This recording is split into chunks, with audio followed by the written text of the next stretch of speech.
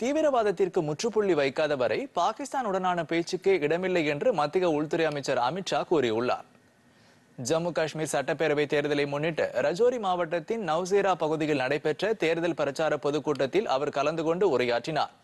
சுமார் முப்பது ஆண்டுகளாக ஜம்மு காஷ்மீரில் தீவிரவாதம் வேரூன்றி இருந்ததாகவும் மூவாயிரம் நாட்கள் ஊரடங்கு உத்தரவு பிறப்பிக்கப்பட்டிருந்ததாகவும் வன்முறைகளில் நாற்பதாயிரத்திற்கும் மேற்பட்டோர் உயிரிழந்திருப்பதாகவும் கூறினார். பாகிஸ்தானை பொறுத்தவரை அந்நாடு தீவிரவாதத்தை ஒழிக்காத வரை பேச்சுவார்த்தைக்கு இடமில்லை என்று அமித்ஷா திட்டவட்டமாக தெரிவித்தார். தீவிரவாதிகள் சுதந்திரமாக நடமாடுவதை பாஜக அரசு ஒருபோதும் அனுமதிக்காது என்றும் அமித்ஷா தெரிவித்தார்.